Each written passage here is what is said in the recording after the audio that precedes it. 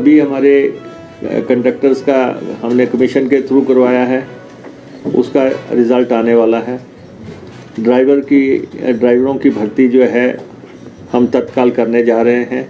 उस प्रक्रिया को हम आगे बढ़ाने जा रहे हैं। तो ड्राइवर का भी और कंडक्टर्स का भी। फैसला किया है कि अयोध्या को बसेस चलाएँगे।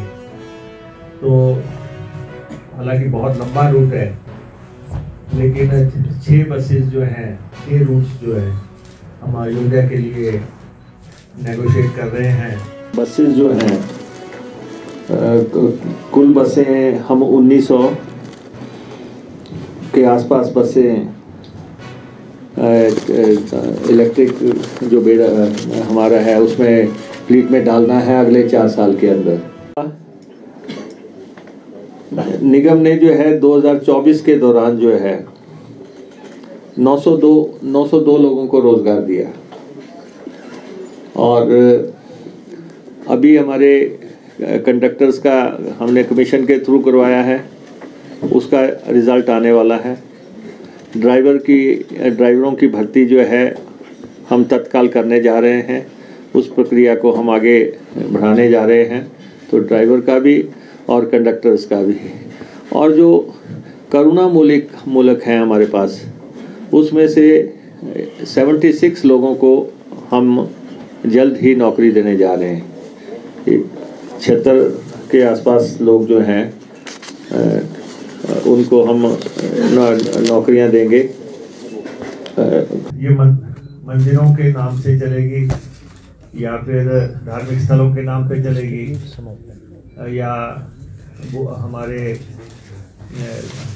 दूसरे स्थान हैं, धार्मिक स्थान हैं, उनके नाम पे जो है, ये बसेस पूरे हिमाचल प्रदेश में चलेगी और एक लंबी चौड़ी एक्सरसाइज करने के बाद इनमें पैंतालीस बस सेवाएँ तो हरिद्वार की है।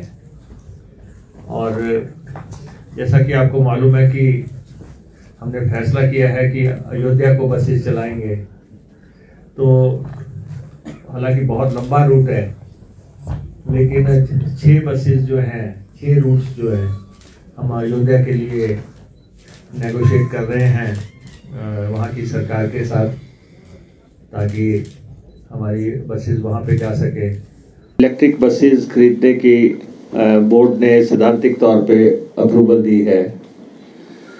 और लगभग 327 तीन सौ ये जो है हमारी बसेस जो हैं कुल बसें हम 1900 के आसपास बसें